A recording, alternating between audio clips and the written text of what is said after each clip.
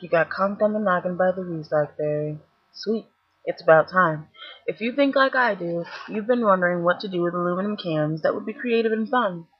I don't drink enough canned beverages to really hit the recycling bins too hard, so I give them to people who do. Or now I do this.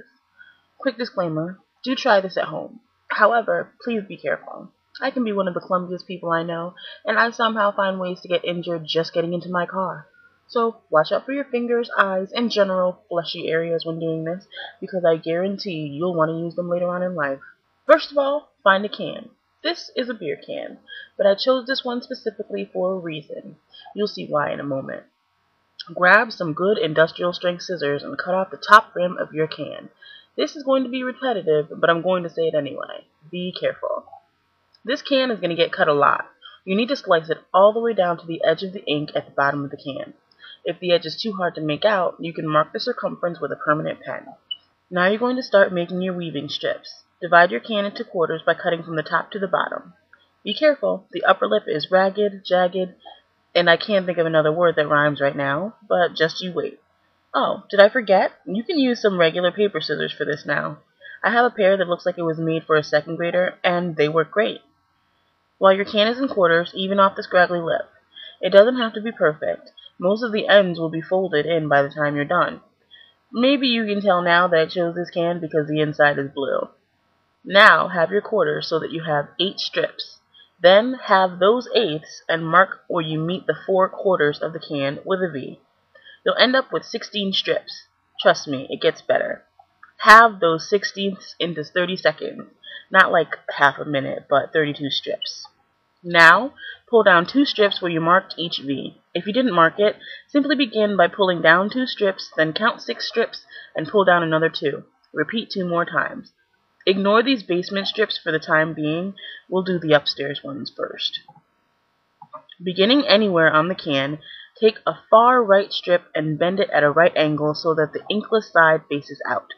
You can harden the fold with a pair of square pliers, or just leave it this way for a smoother fold over under this strip against the ones to its left.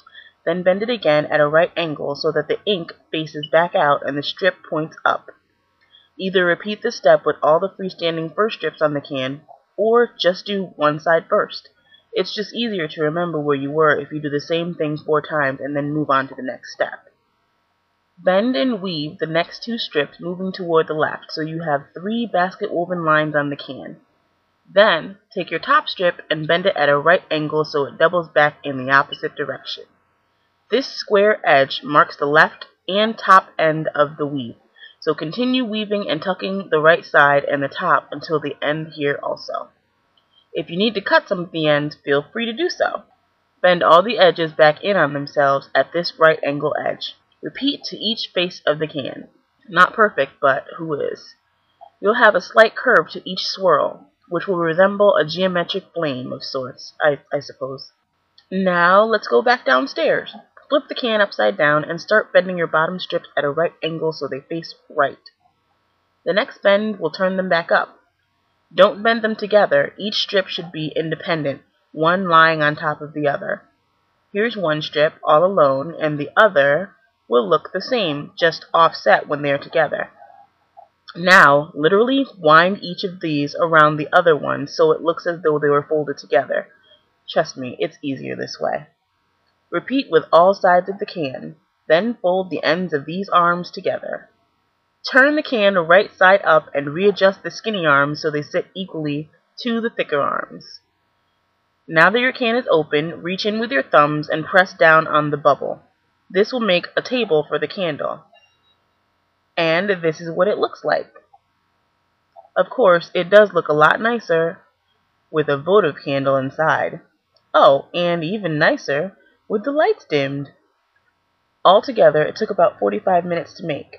Of course, I was watching TV the whole time too. Mind you, this isn't my idea. Well, it is, but I'm not the first to think of it. But there's always room for new ways to green your scene. If you want a less square, fold minimal concept for your aluminum can, or even your plastic cup or water bottle or soda bottle, I've got something for you too.